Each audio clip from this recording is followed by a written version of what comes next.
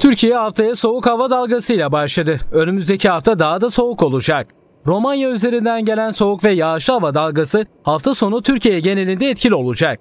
Pazar gecesi ve pazartesi günü Uludağ ve Kartalkaya'da kar yağışı beklenirken Batı Karadeniz ve İç Anadolu'da sulu kar bekleniyor. Hafta sonu Marmara bölgesi yağmurlu. Hissedilen sıcaklık 9-10 dereceye kadar düşecek.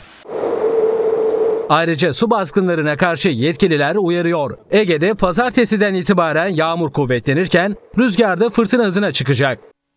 Bölgede sıcaklık 10-15 derecelere kadar düşecek. Pazartesi yağmur Batı Karadeniz'e İç Anadolu genelinde çok kuvvetli yağacak.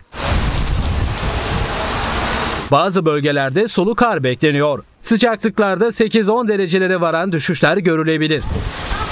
Salı gününden sonra yağmurların kesilmesiyle birlikte sıcaklıklar tekrar mevsim normallerine dönecek.